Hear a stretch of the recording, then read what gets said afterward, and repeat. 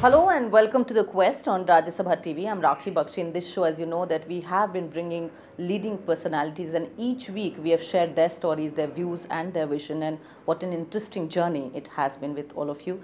Uh, today, also, we have a very special guest on this show on Rajya Sabha TV. Somebody who has held very lot of eminent positions actually, and also have been a part of the government early and the system, a former member of parliament from Rajya Sabha, Mr. N.K. Singh. Welcome to the show, Mr. Singh. Thank you. What a delight it is to talk to you, first of all. My but, pleasure. But, you know, we are talking at a time which is very relevant and important, and Bihar elections. And Yes. let me start with that. Uh, since you not only represent uh, here in this show also as a politician, somebody who's really tried to understand through your writings, to your analysis, what Bihar is and what Bihar should be. And this is an interesting time that we're talking about it. So tell us, I mean, what is this time? Explain to us because we're going to now witness the results as well. Well, you know, I think that uh, Bihar traditionally has been slow in making a transition from a stratified feudal order to a more modern economy. Bihar's economic backwardness has been something endemic, which for a long time made it acquire the pejorative expression of a Bimaru state. Uh, during the last uh, 10 years of Nitish Kumar's chief ministership, the first seven years did see very significant progress and change in terms of GDP growth, improvements in health and uh, educational and other indices. And uh, the last, of course, the three years, of course, uh, he has concentrated more on survival of the government and development to some extent has taken a back seat. At the same time, whereas the average quest of a Bihari has been to seek a better life quality, it's difficult to say whether Bihar has crawled out hmm. of the traditional mold of what is loosely described as identity politics. You know, if I refer to your book itself, The New Bihar, where you talk about, when you talk about even Nitish Kumar's tenure and what he did actually that time, it does reflect as to what, how Bihar was trying at least to meet up with the challenges. And So I think this literally this, on the road this election would represent the blend of uh, quest for development with identity politics, and the mixture and the blend of uh, this particular chemistry would ultimately determine the the final outcome of the Bihar elections, which is uh, whose results are only today is the last day of polling Yes, yeah, and that's why and and it's very um, interesting to talk. and uh, Sunday the results are out. But these are the two factors which will play. The factor, three factors, I Yeah. would say. One is the factor of uh, the traditional identity politics, Yeah. which is caste and class. The other is a factor of the quest for Bihar's development and getting out of the traditional set. And there's a third factor, which is an interesting factor, which is that if the average demographic age of India hmm. is about 24, the average median age of Bihar is 18 to 20, which shows that not only India is young, but Bihar is much younger than a young India. Actually, you reflect, uh, and, and I would really agree because I traveled to Bihar and also reported on these issues. And I saw this quest, I would say, not only for Bihar, the new Bihar, which is your book. Uh, people are looking forward to, you know, a, a new life in Bihar. I mean, they are looking for development, a good life, good life with dignity. But uh, political parties, if you look at that, still bang on and, you know, ride on the same identity politics, caste and class mixed. Uh, which is going on, which is a, which is a contrarian kind of position. Well, you know, as I said much earlier in my comment, that Bihar was historically much slower in making a transition from a, a feudal, later an agrarian economy to a modern economic order. And the tardiness of this transition would explain the continued persistence of what is loosely described uh, descriptively as identity politics forces, uh, which uh, sometimes plays out, sometimes gets played in by the quest for development. And who does that? I mean, uh, I would say that uh, you know this burden should be going on to the political look, for instance, this entire controversy on Who- this who takes whole, it ahead whole, whole finally? story of reservations. Yeah. Now, reservations have been fairly central to consistently almost every government which has been in office in, in Bihar. A needless controversy was raised when Hmm. um, some remark was attributed to the, Mr. Mohan Bhagwat, and of course it was it was clarified. And I think that this whole issue of reservation, I mean, you know, this this to some extent the debate itself represents that how much short have political parties and development process been providing adequate jobs? If you look at migratory patterns, Yeah, true. the number of. Biharis Yeah. who are seeking employment opportunities Still, yeah. outside Bihar are huge. I mean, the other day I was in, uh, I was doing an election rally uh, three days ago in, in fairly remote North Bihar on the border of Nepal, Hmm. in a place called Birpur, uh, which has the Kosi. Which is just and there, just there. And I, uh, Mr. Sushil Modi, who was with me, he asked the crowd, Hmm. how many of you have gone to Delhi to look for jobs? Quite a few. How many have gone to uh, uh, Mumbai? Quite a lot. Uh, Punjab, Haryana, less. Uh, some people have gone travel to Gujarat. And if you ask them, how many of you have traveled outside Bihar?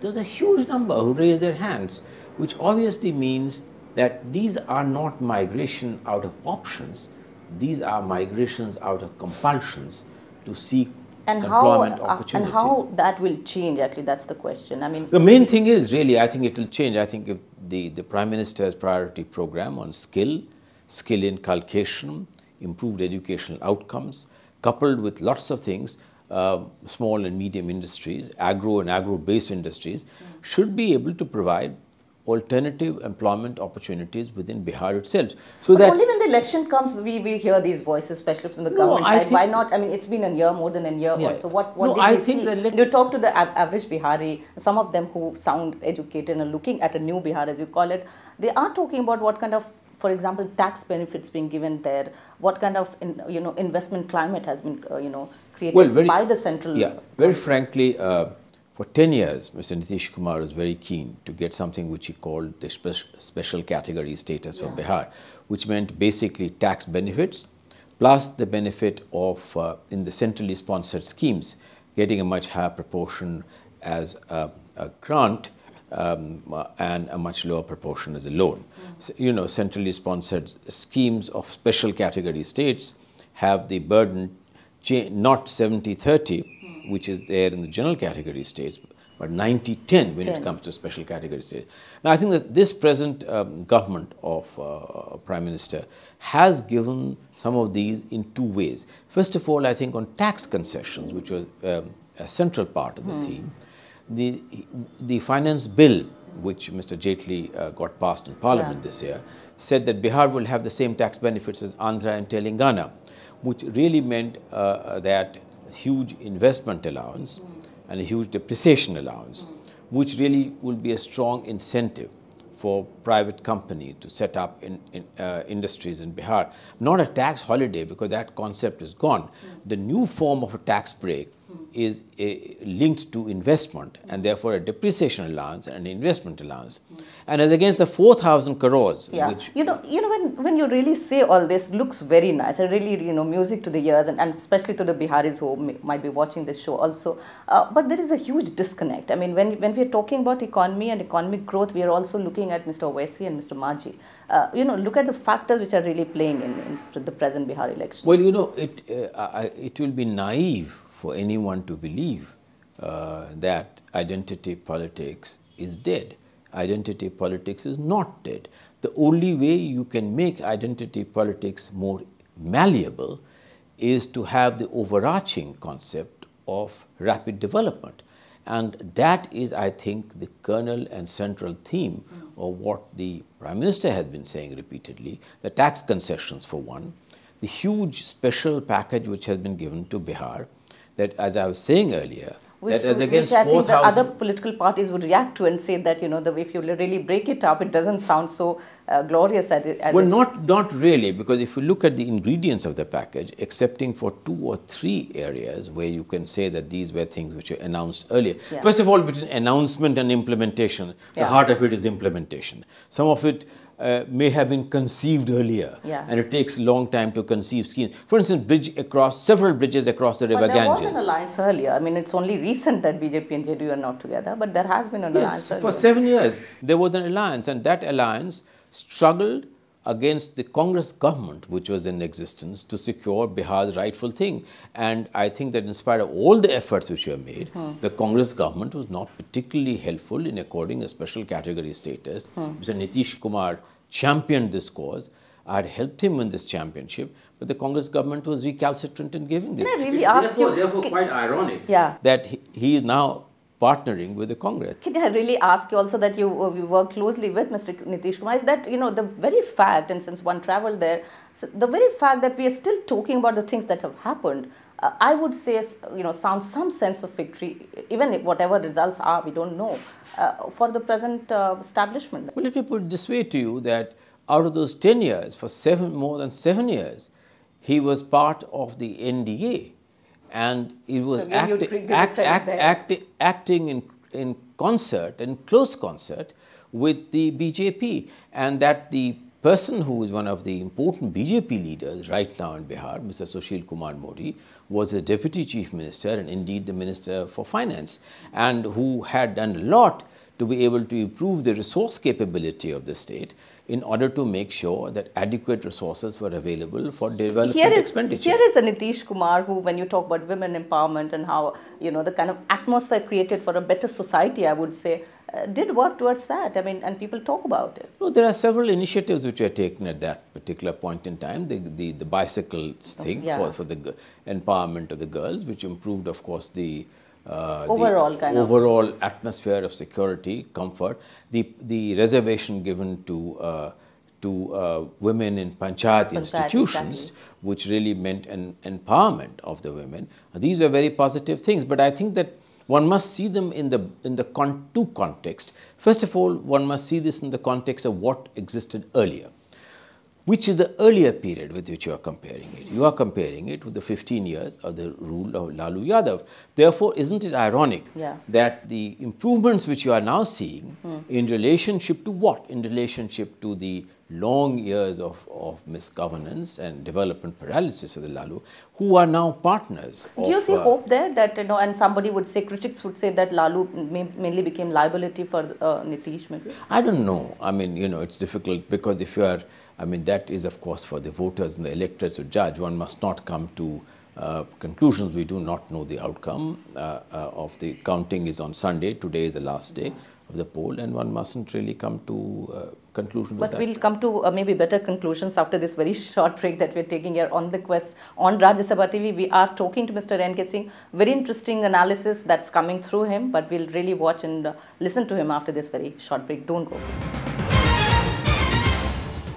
Welcome back to the show. You are watching The Quest here on Rajya Sabha TV. We are talking right now to Mr. N.K. Singh. You know, uh, in fact, Nepal, look at it, Nepal has become a, a problem again. We're talking about, and this has a connection here when, when you talk about Bihar. Uh, I mean, the fact that, you know, you're now thinking of taking Nepal uh, to the UN table, I mean, how would you really even look at that kind of perspective? Well, very frankly, I think that uh, in this whole process, the government, the government of India was in touch with the authorities in Nepal because I think that what is now sought to be uh, protected are the constitutional rights uh, of people who are living in the what's broadly called the Madhesi Exactly. belt. And protecting their rights, speaking for their rights, is something which is quite consistent with the government of India's foreign policy. In fact, at the government of India's uh, uh, uh, at the at the thing, we decided to send a special envoy for Mr. Jaishankar, our foreign secretary, went to Kathmandu to hold a broad-ranging dialogue, and we hope that ultimately the constitution which is adopted and implemented by the people of Nepal should be in the long-term interest of the people of Nepal. India has no interest in meddling in the internal affairs of, Okay. of, of Nepal, but we are certainly interested that all segments of society, and if the 40% of the people uh, feel themselves disempowered, uh, I think that's a constitution which needs a second look. Coming back to Bihar again also, and since you wrote and I read this article interestingly, is uh, you talk about federalism uh, and give new dimension. and talk about competitive federalism and cooperative federalism. So federalism, when you talk about at this stage, of course, uh, is very meaningful. Uh, but but give us a real pers- perspective as to what's even in the, in Bihar's context as to what's happening. I mean, what Bihar is finally. Why Bihar's context? Federalism is a concept which is the uh, pan-India concept. Uh, India is a large federal state. Bihar is, on, is an large, important federal state, but so are other states. And I think what is, uh, uh, what is the basic thrust of that article, which you are referring to, published in the Indian Express, is the manner in which federalism is evolving in the Indian context, hmm. uh, particularly in the context of the acceptance of the recommendations of the 14th Finance Commission. There are three important ingredients in that. First and foremost, is the concurrent list, has it really bec become too much? And has really more and more subjects been taken over by the central government, hmm. which in a sense is a disempowerment of the states and what should be left to the state. because my next question states. is related we are talking about gst bill and the next parliament session will yeah i'm coming to the gst bill but let me complete yeah. this first theme so that is one issue is the, the, progressive enlargement of the concurrent list the second is the important aspect that la large resources were being really which should have gone to states were being taken away from the states and was coming in the form of centrally sponsored schemes by the Planning Commission, which was a foreclosure of what was the rightful resources of the states, um, proliferation of the centrally sponsored mm. states. Now, that really, if you ask me, is also in a certain sense not quite consistent with the spirit of the Constitution. So, I think these centrally sponsored schemes have now been curtailed and are being curtailed further, mm. so that the states, based on the recommendations of the 14th Finance Commission, which has increased the devolution of states from 32 to 42 percent, yeah. 10 percent sharp increase, will have not only the resources, but will be in a position to select, to design, and fashion and implement schemes which are best suited to their needs. Best suited is the word, how much really it works on the ground. And that's why uh, when you talk about GST bill, and that's where, uh, you know, some of these threads, I would say, uh, should be looked at because that, that's something that government is very upbeat about but has its own problems. No, on the GST bill, I think this has been in the works for God knows how many years. I would even forget the count and whose time it began. I mean, I can trace the thing that the ingredients of this GST bill began uh, quite a bit during the time of Mr. Vajpayee in the, in the earlier India government. I was working in that government. Mm. Uh, that so it has taken various forms. It has undergone multiple consultations. Successive finance ministers have tried to give this a shape. The previous government Mr. Chidambaram took and Mr. Pranab Mukherjee took a very keen interest in yeah, promoting true. this thing. The GST bill, as it has now, broadly reflects the consensus among all stakeholders. It has gone to the select, it went to the select committee of the Rajya Sabha. The recommendations of the select committee had now been received by government. And I think there is broad amount of acceptance on what the contours you see the GST. A smooth road ahead? So, no. Or you don't? No, I, I, I, I do believe that it is in everybody's interest for India to gain the advantage of one large unified common market without the cascading impact of the multiplicity of taxes. And it would, I think, uh, be an important push and momentum to India's GDP growth. Many people say that GST can result in 1 to 1.5 percent GDP growth to India. Let's look and watch, at, uh, watch that also happening. Uh, a, a, question which I think is really all, around us and uh, I would not really pinpoint it to Bihar but something that is being talked about. You know, this whole uh, talk about who's tolerant, who's not, uh, and then then all kinds of debates happening, all kinds of views coming up. I would really like to know from you uh, as to what what is the time that we are in right now. I think we are in normal times because, frankly, the prime minister has fully endorsed um, the president's uh, observations yeah. that uh, we are all bound to only one book and that book is the Constitution of India. And the Constitution of India talks of equality and tolerance. Mm. And that the first one to really pick up on the present thing mm. is the Prime Minister. But, but the voices that we are hearing are voices. We can't neglect that. They are not silent. Some of them are vocal. And, and but there are also people in the party who are saying that these are people speaking on their own. I mean, say, for instance, the comment which was made uh, yesterday or day before yesterday against one of the important leading Bollywood actors. Yeah. People in, in the BJP party itself ha have really said that these remarks were, were, unfortunate and one of the persons who made the remark has retracted from the remarks because I think that the Prime Minister has clearly indicated that really every Indian is bound by only one book and that, that book is the Constitution of India. Okay, I, I will come back to Bihar again and you're talking about again a new Bihar again. And this term actually fascinates me also because when I talk to people, I see this hope in their eyes. And that's what, in fact, the new government is claiming that if it all gets power, that's the road that it would like to take ahead. But how would you look at this whole you know, range and chain of challenges, whether it's healthcare, education, preliminary, girls, safety, uh, infrastructure, how would you really like to take a look at Bihar, which really needs, I think, course correction in a huge dimension? No, I think the first and foremost, you, you need an atmosphere of uh, confidence and security and stability. Uh, the, and no magic wand can there, really, piece about which I wrote that uh, economic analysts have, have come to the conclusion that you get a stability dividend and you get a peace dividend. And that one would, uh, uh, uh that is, I think, if the, the, my BJP comes to power, which I very much hope it will, then I think you, there is no question of any instability. Because I think that the BJP's numbers that it has contested in, hmm. the, in the elections are significantly higher. And whereas all allies are equals and treated very well. As somebody would say in the local lingo that only Bihar and not Bahar. So I mean somebody who's who understands Bihar and you know deep rooted in the whole ethos. But who said that the chief minister of Bihar, if the, if the BJP comes to power, will not be somebody from Bihar? I mean, who has come up with this preposterous idea that the chief minister of Bihar in case the NDA comes to power, will be somebody thrust mm. from outside Bihar. This has never been contemplated. But uh, surely, if this means that the prime minister must not because there was this complaint that the, that the local the, local influence is missing. I mean, maybe we saw the prime minister and we, we saw some but senior BJP it, leaders. It, it, it would be quite preposterous to circumscribe that the prime minister of India is not the prime minister of every part of India.